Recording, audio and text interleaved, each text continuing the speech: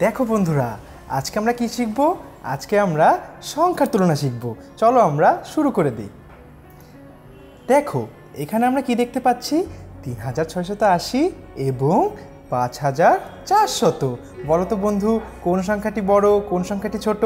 তোমরা ভাবছ আমরা কীভাবে তুলনা করতে পারি? কোন সংখ্যাটি বড়, আবার কোন সংখ্যাটি ছোট? চলো আমরা শিখে নিই আজকে। মনে আছে? আমরা যখন দ্বিতীয় শ্রেণীতে ছিলাম, তখন আমরা কি করতাম? তখন আমরা দশক স্থান তুলনা করে বের করতাম কোন সংখ্যাটি বড় এবং কোন সংখ্যাটি ছোট। কিন্তু আমরা বড় হয়েছি, সংখ্যাগুলো বড় হয়েছে বন্ধুরা।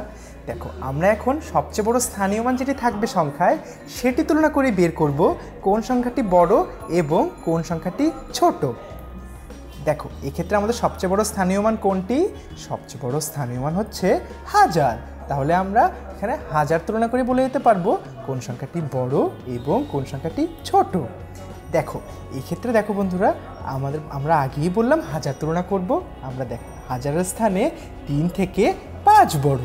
তাই আমরা বলতে পারি তিন হাজার ছয়শো আশি থেকে পাঁচ হাজার চারশত বড়। দেখলে বন্ধুরা, কত সহজে আমরা বড় স্থানীয় মান তুলনা করে বের করে ফেললাম। কোনটি বড়, কোনটি ছোট।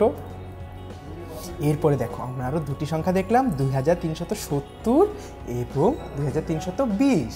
তাহলে আমরা এখানে দেখতে পাচ্ছি যে হাজার এবং শতক দুইটি সমান। তাহলে আমরা কোনটি তুলনা করতে পারি? আমরা তাহলে তখন সাত এবং দুই, অর্থাৎ বন্ধুরা, আমাদের যে বড় স্থানীয় মান থেকে বন্ধুরা, আমরা তখন কি করব। বড় স্থানীয় মান থেকে বন্ধুরা, আমরা একে একে সবচেয়ে ছোট যে স্থানীয় মানগুলো সেই দিকে যেতে থাকব। অর্থাৎ আমরা যেতে পারি হাজারের পরে শতক, শতকের পরে দশক এবং দশকের পরে একক। এগুলো তুলনা করেই আমরা বলতে পারব কোন সংখ্যাটি বড় এবং কোন সংখ্যাটি ছোট। চলো, আমরা এখানে দেখে ফেলি এখন। দেখো, এখানে হাজারের স্থান আমরা বন্ধুরা আগেই দেখলাম। হাজারের স্থান ও শতকের স্থান একই। আমরা এখন দশকের স্থানে যাব। চলো আমরা এখন দেখি দর্শকের স্থান তুলনা করে আমরা, দর্শকের স্থানে আমরা দেখলাম দুই থেকে সাত বড়। তাহলে বন্ধুরা আমরা বলতে পারি যে তেইশশো সত্তর সংখ্যাটি তেইশশো বিশ থেকে বড়।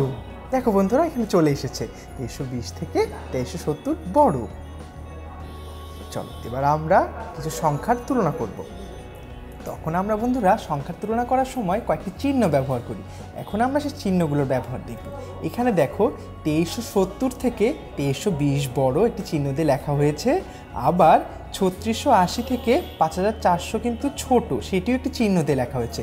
আমরা চলো চিহ্নগুলোর সাথে পরিচিত হয়ে নিই। দেখো বন্ধুরা, এই যে একটি চিহ্ন, এই যে একটি চিহ্ন। এখানে বন্ধুরা, এই চিহ্নটি হচ্ছে বড় চিহ্ন এবং এই যে দেখো, এই চিহ্নটি হচ্ছে ছোট চিহ্ন।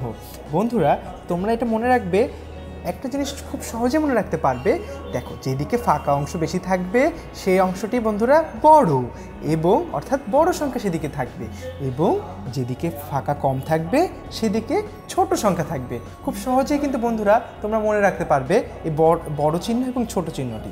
দেখো বন্ধুরা, চলো এবার আমরা আরও কিছু উদাহরণ দেখে নিই। এখানে দেখো অনেকগুলো সংখ্যা আসবে বন্ধুরা। আমরা বলব কোন সংখ্যাটি বড় এবং কোন সংখ্যাটি ছোট। আমরা খালি ঘরে চিহ্নগুলো ব্যবহার করব। দেখো, অনেকগুলো সংখ্যা চলে এসে না, এসেছে না বন্ধু? চলো আমরা এখন ব্যবহার করি। এক পাশে কত আছে? এক পাশে আছে একশো এবং অন্য পাশে আছে নিরানব্বই। চলো আমরা এখন এখানে দেখে ফেলি কোনটি বড়, কোনটি ছোট। আমরা জানি বন্ধুরা, একশো বড় নিরানব্বইয়ের থেকে তাই এখানে দেখো বন্ধুরা বড় চিহ্ন চলে এসেছে। আবার দেখো, একশো নিরানব্বই ও দুইশোর মধ্যে কিন্তু বন্ধুরা দুইশো বড় এবং একশো নিরানব্বই ছোটো। তাই বন্ধুরা দেখো, এখানে ছোট চিহ্ন চলে এসেছে। চারশো উনসত্তর চারশো ছিয়ানব্বইয়ের মধ্যে চারশো উনসত্তর ছোট এবং চারশো ছিয়ানব্বই বড়। তাই এখানে ছোট চিহ্নটি চলে এসেছে এবং দেখো, সাতশো সাতাত্তর ও ছশো ছেষট্টির মধ্যে সাতশো সাতাত্তর বড়। তাই বন্ধুরা দেখো, বড় চিহ্ন চলে এসেছে। বন্ধুরা দেখো, সবগুলো খেয়াল করলেই তোমরা দেখবে, বড় চিহ্নটি বড় সংখ্যার দিকে কিন্তু বন্ধুরা বেশি ফাঁকা অংশটি আছে এবং ছোট সংখ্যার দিকে কিন্তু কম ফাঁকা অংশ আছে। দেখলে কত সহজ, আমরা কত সহজেই করতে পারি? এবার দেখো, কয়েকটি সংখ্যা আসবে, আমরা ছোট থেকে বড়তে সাজিয়ে নেব। একশো নিরানব্বই দুইশোর মধ্যে থেকে দেখো বন্ধুরা, একশো নিরানব্বই থেকে দুইশো বড়, তাই আমরা ছোট, একশো নিরানব্বইয়ের পরে ছোট চিহ্ন ব্যবহার করলাম বন্ধুরা, তারপরে দুইশো। দুইশো থেকে একশো নিরানব্বই কিন্তু বন্ধুরা বড়, তাই কিন্তু আমরা দুইশোর পরে বড় চিহ্ন, তারপরে ছোট চিহ্ন ব্যবহার করলাম। পাঁচশো তিরিশ ও পাঁচশো উনত্রিশের মধ্যে দেখো বন্ধুরা, পাঁচশো উনত্রিশ ছোটো, তাই আমরা ছোট চিহ্ন ব্যবহার করলাম, তারপরে দেখো বড় সংখ্যাটি লিখলাম। এরপরে আবার দেখো বন্ধুরা, পাঁচশো তিরিশ বড়, তাই আমরা বড় চিহ্নটি ব্যবহার করলাম, তারপরে আমরা পাঁচশো উনত্রিশ লিখলাম, ছোট সংখ্যাটি। চলো আমরা আরেকটি দেখি নিই। এক হাজার একশো নয় কিন্তু বন্ধুরা ছোটো এক হাজার একশো এগারোর তুলনায়। তাই আমরা এক হাজার একশো নয় ছোটো থেকে বড় লেখার সময় এক হাজার একশো নয় ছোটো চিহ্ন, তারপরে এক হাজার একশো এগারো লিখলাম আমরা। আবার বড় থেকে ছোটোতে দেখো বন্ধুরা এক হাজার একশো এগারো, তারপরে আমরা বড় চিহ্নটি দিলাম বন্ধুরা, তারপরে আমরা লিখলাম এক হাজার একশো নয়। দেখলে কত সহজ? চলো এবার আমরা কিছু সংখ্যা আসবে, আমরা সংখ্যাগুলো ছোট থেকে বড়তে সাজাবো। সংখ্যাগুলো কী কী আসছে? সংখ্যাগুলো আসছে দুইশো বিশ দুশো তিয়াত্তর দুশো দশ দুশো আটাত্তর। বন্ধুরা, মনে আছে আমরা সবচেয়ে বড় স্থানীয় মান থেকে তুলনা করব? সবচেয়ে বড় স্থানীয় মান হচ্ছে এখানে শতক। সবগুলো অঙ্কই সমান, বন্ধুরা। তাহলে বলো আমরা কীভাবে তুলনা করতে পারি? আমরা এখানে তারপরে স্থানীয় মানে যাব। তাহলে তারপরে স্থানীয় মান কোনটি? তারপরে স্থানীয় মান হচ্ছে দশক। তাহলে দেখো, দশক তুলনা করলাম, প্রথমে সবচেয়ে ছোট এক, তারপরে সবচেয়ে ছোট কোনটি বলো তো বন্ধু? দুই, তারপরে সবচেয়ে ছোট সাত। দেখো বন্ধুরা, আমরা একের পরে ছোট চিহ্ন দুই, তারপরে ছোট চিহ্ন সাত। আমরা কত সহজে লিখে ফেললাম? তাহলে আমরা চলো দুইশো, দেখি আরেকটি সমস্যা কিন্তু আমরা এখানে দেখতে পাচ্ছি। আমাদের এখানে দুশো তিয়াত্তর এবং দুশো আটাত্তর।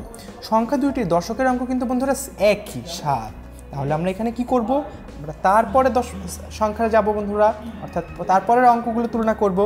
দুশো তিয়াত্তর এবং দুশো আটাত্তরে দেখো বন্ধুরা, আমরা এককে যদি দেখতে পাই, এককে আট আছে এবং তিন আছে। তাহলে বন্ধুরা আমরা তুলনা করি তিন এবং আট। তিন থেকে কিন্তু আট অবশ্যই ছো আট থেকে কিন্তু বন্ধুরা অবশ্যই তিন ছোট।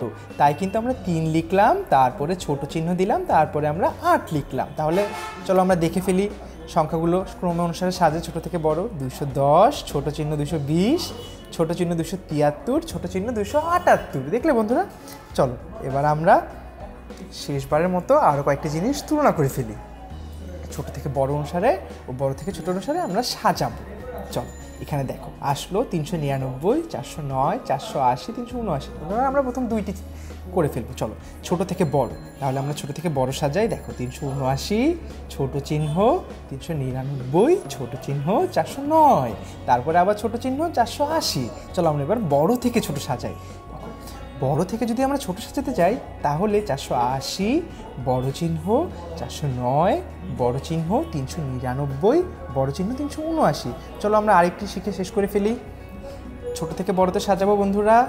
এইগুলো সংখ্যাগুলো আছে, দেখো আমরা সাজালাম। ছয়শো নিরানব্বই, ছোটো চিহ্ন, সাতশো নয়, ছোটো চিহ্ন, সাতশো পঁয়ত্রিশ, আবার ছোটো চিহ্ন, আটশো দুই। দেখলে আমরা কত দ্রুততা সহকারে করে ফেললাম। তারপর আবার দেখো, আটশো দুই, বড় চিহ্ন, সাতশো পঁয়ত্রিশ, বড় চিহ্ন, সাতশো নয় বড় চিহ্ন ছয়শো নিরানব্বই। দেখলে বন্ধুরা, আমরা কীভাবে আজকে খুব সহজেই সংখ্যার তুলনা শিখে ফেললাম। ধন্যবাদ বন্ধুরা, সাথে থাকো আমাদের টেন মিনিট স্কুলের ভিডিওগুলো দেখো এবং আমাদের সাথে থাকো। ধন্যবাদ।